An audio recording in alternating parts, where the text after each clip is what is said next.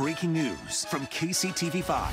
Thank you for joining us. I'm Carolina Cruz. We are tracking breaking news this afternoon. A manhunt is underway right now in Ray County to find an escaped inmate who attacked a jail employee with a shank. This is who officers are searching for. 39-year-old Justin Robinson. Investigators say he is dangerous, and if you see him, call 911. KCTV5's Emily Rittman is live at the Richmond Police Department. Emily, what's happening right now?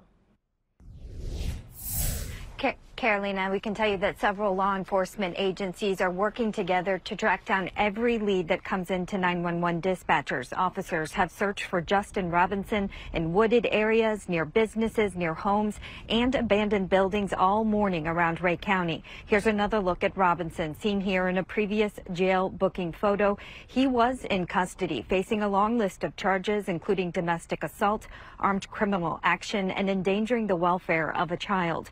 Ray County Sheriff Scott Childers said he was arrested in February, accused of stabbing his pregnant girlfriend. Childers said Robinson and used a homemade shank to stab a jail employee in the neck. Childers said the other inmate was arrested within 45 minutes of their escape. Robinson remains on the run. He was last seen in the Richmond, Missouri area near Spartan and East Main Street around 2:45 this morning. At that time, he was wearing a gray hooded sweatshirt and dark shorts. Now, we've been talking with law enforcement this morning and we'll continue to check in with them to bring you updates throughout the day. Again, if you see him, you are asked to call 911.